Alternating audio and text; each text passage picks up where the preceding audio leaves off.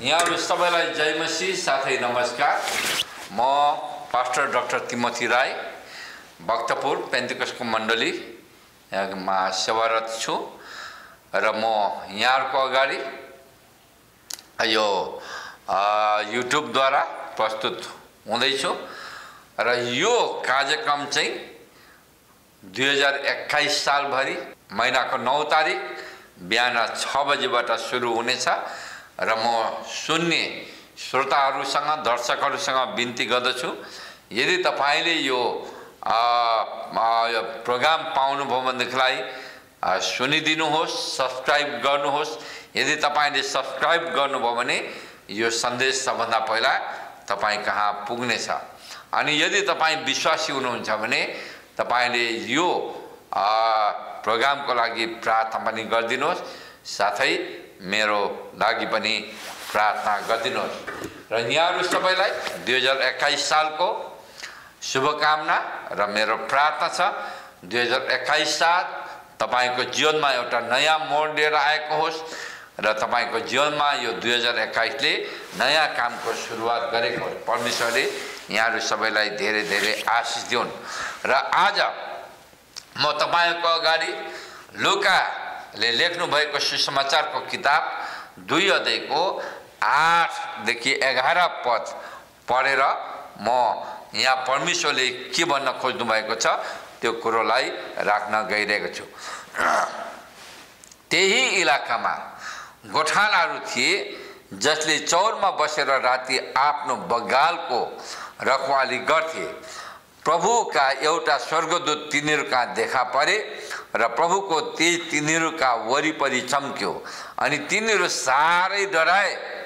तब स्वर्गदूतले तिनीहरूलाई भने नडराओ किनभने हेर म तिमीलाई बडो आनन्दको सुसमाचार सुनाउँछु जो सबै मानिसहरूका निम्ति हुनेछ। आज दाउदको सहरमा तिमीहरूका निम्ति एउटा मुक्तिदाताको जन्म भएको छ जो ख्रिस्ट प्रभु हुनुहुन्छ।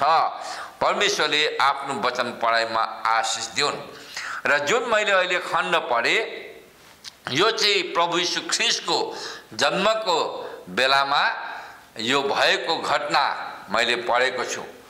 त्यस समय गोठालाहरू रातिको समयमा चौरमा आफ्ना भेडा गोठालाहरूको रखवाली गर्दै आगो फुकेर आगो तापिरहेका थिए।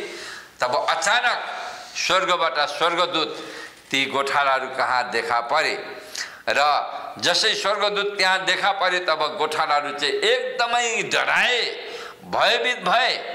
अनि त्यस समय स्वर्गदूतले ती गोठालाहरूलाई भन्नुभयो नडराओ र आजको मेरो प्रवचनको विषय पनि नडराओ भनेर मैले राखेको छु।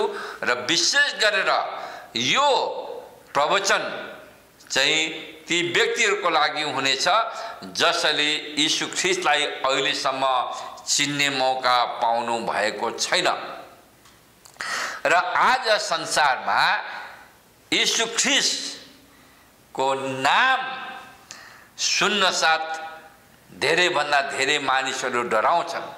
अनि आज मात्र होइन तर प्रभु ख्रिस्टको समयमा पनि जब प्रभु ख्रिस्ट यो संसारमा हुनुहुन्थ्यो र जुन समय प्रभुको जन्म भयो त्यो जन्म भएदेखि नै संसारका मानिसहरू यीशु नाम सुन्न साथ डराउँछन्। अनि प्रभुको जन्ममा पनि इसरायलको राजा हिरोद एकदमै डराएका थिए भयभीत भएका थिए। त्यही कारणले गर्दाखेरि तिनले इसरायलमा जन्मेका दुई वर्षदेखि मुनिका बालकहरूलाई सिपाही पठाएर मार्न लगाएका थिए अनि हजारौँको सङ्ख्यामा बाल हत्या भएको थियो। त्यस समयदेखि नै प्रभु ख्रिसलाई मार्नको लागि धेरै प्रयासहरू गरेका थिए। अन्तमा आएर प्रभुसुलाई मारे। अनि प्रभुका चेलाहरूलाई पनि धेरैभन्दा धेरै चेलाहरूलाई मारेकै घटना हामी पाउँदछौँ इतिहासमा। अनि आजसम्म पनि संसारका मानिसहरू यीशु ख्रिसको नाउँ सुन्न साथ डराउँछन्। अनि यीशु ख्रिसको नाउँ लिनेहरूलाई यीशु ख्रिसको आराधना गर्नेहरूलाई यीशु ख्रिसको नाउँ प्रचार गर्नेहरूलाई खेदी खेदिकन कसैलाई मार्ने काम गरिरहेको छ कसैलाई कारागारमा हालेर यातना दिने काम गरिरहेको छ। चर्च भवनहरू भत्काउने चर्च बम भवनहरूमा बम पड्काउने कामहरू गरिरहेको छ। र यसको खास कारण चाहिँ के हो त भनेदेखिलाई मानिसहरूले यीशु ख्रिस्ट को हुनुहुन्छ भनेर नबुझ्नुले गर्दाखेरि यो भएको तर मित्रहरू ज जसले यो सन्देश सुन्दै हुनुहुन्छ मलाई हेर्दै हुनुहुन्छ प्रभु यीशु ख्रिससँग हामीहरू डराउनु पर्दैन। किनकि यहाँनिर दस पदमा लुका दुई अध्ययको दस पदमा स्वर्गदूतले यही भन्नुहुँदछ तब स्वर्गदूतले तिनीहरूलाई भने नडराऊ।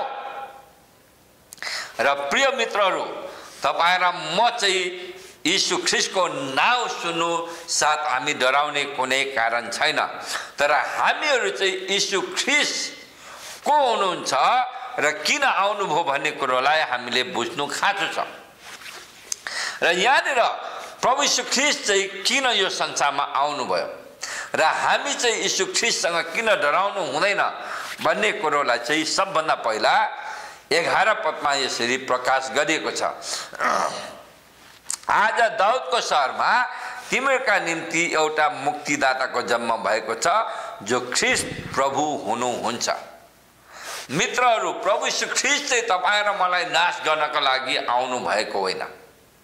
तर प्रभु ख्रिस्ट चाहिँ तपाईँ र मलाई हामीहरूको पापबाट छुटकारा दिनको लागि मुक्ति दिनको लागि मुक्तिदाता भएर आउनु भएको हो।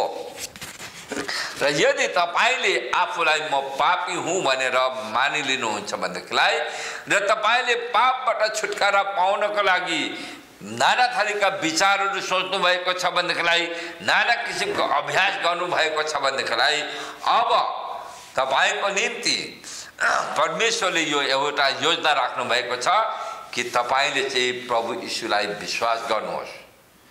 अनि प्रभु यीशुलाई चाहिँ तपाईँले भन्नुहोस् म पापी छु म पापबाट छुटकारा पाउन चाहन्छु पापबाट मुक्ति पाउन चाहन्छु र प्रभु यीशु तपाईँले दया गरेर मेरा पापहरू क्षमा गरिदिनुहोस्।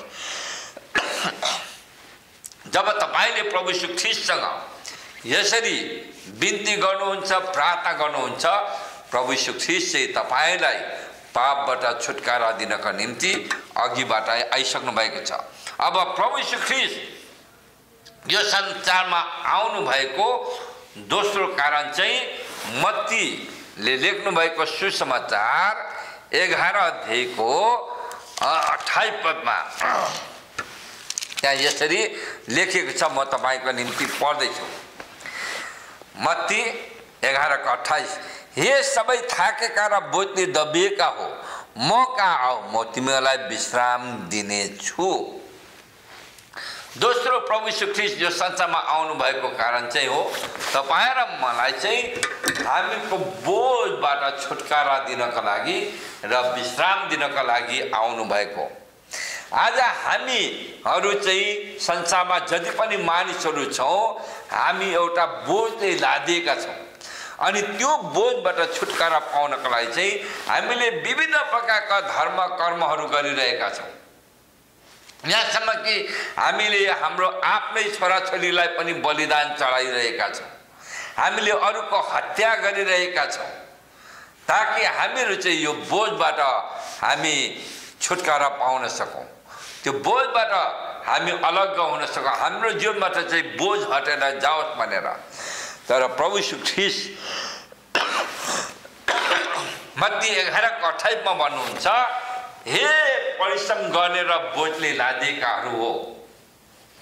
हे परिश्रम गर्ने र बोझले लादिएकाहरू हो म कहाँ आऊ म तिमीलाई विश्राम दिन्छु। यदि तपाईँ साँच्चै नै आफ्नो जीवनको बोझाबाट छुटकारा पाउन चाहनुहुन्छ भनेदेखिलाई प्रभु सुख्रिसका आउनुहोस्। तपाईँको बोझा जस्तो सुकै किन नहोस्। प्रभु श्रीकृष्ण आउनुहोस्। उहाँले तपाईँलाई तपाईँको बोझाबाट छुटकारा दिनुहुनेछ।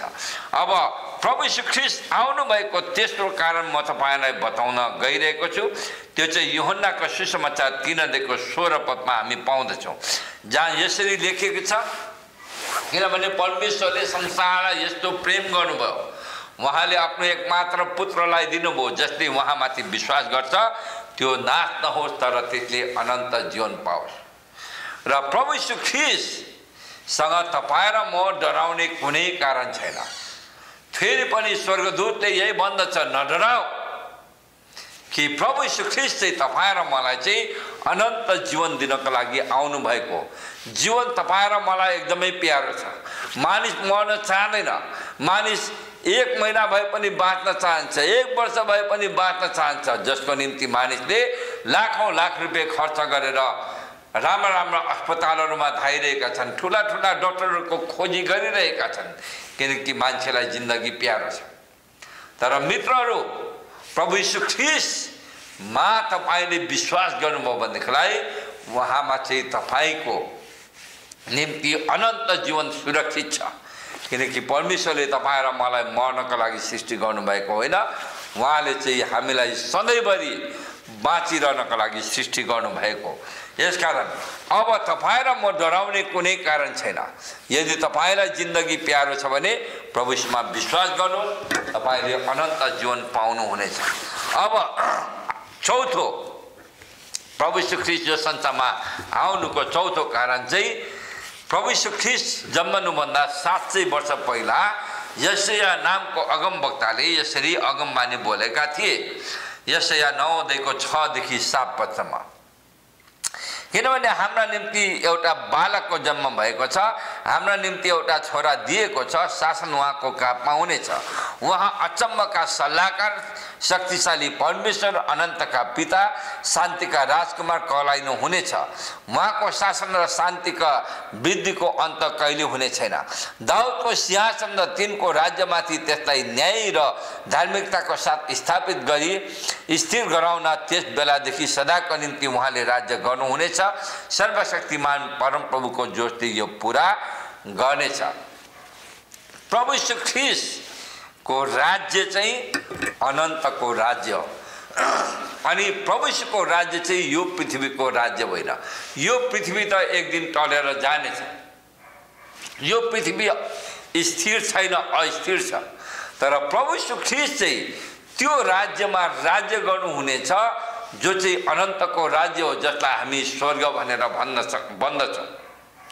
र प्रभु ख्रिस यो संसारमा आउनुको कारण चाहिँ उहाँले चाहिँ हामीलाई पापबाट छुटकारा दिनु हो हामीलाई बोझबाट हामीको जीवनको बोझबाट छुटकारा दिनु हो हामीलाई अनन्त जीवन दिनु हो अनि हामीलाई चाहिँ उहाँको राज्यमा लैजानु अनि उहाँको राज्य चाहिँ अन्तहीन छ अनन्तको छ।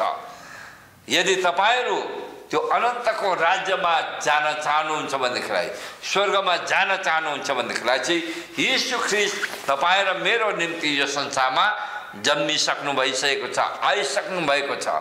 अब तपाईँ र म डराउने होइन। प्रभु यीशु ख्रिस्ट यो संसारमा राज्य गर्नको लागि आउनु भएको होइन। यो कुरो ख्याल गर्नुहोस्। उहाँको राज्य चाहिँ स्वर्गको अनन्तको राज्य हो। र यदि तपाईँ स्वर्गमा जान चाहनुहुन्छ भनेदेखिलाई अनन्तको राज्यमा तपाईँ प्रवेश गर्न चाहनुहुन्छ भनेदेखिलाई अब तपाईँ नडराइकन प्रभु ख्रिस कहाँ आउनुहोस्। अनि उहाँको राज्यमा चाहिँ तपाईँ प्रवेश गर्न सक्नुहुनेछ। अनि यहाँनिर प्रभु ख्रिसको बारेमा यसैले भन्दछ। उहाँ अचम्मका सल्लाहकार शक्तिशाली परमेश्वर अनन्तका पिता शान्तिका राजकुमार कहलाइनु हुनेछ। अनि प्रभुको राज्य चाहिँ शान्तिको राज्य हुनेछ अनन्तको राज्य हुनेछ। अनि उहाँले चाहिँ हामीलाई सल्लाह पनि दिनुहुनेछ। यस कारणले गर्दाखेरि प्रभु ख्रिस्ट यो संसारमा आउनुभएको।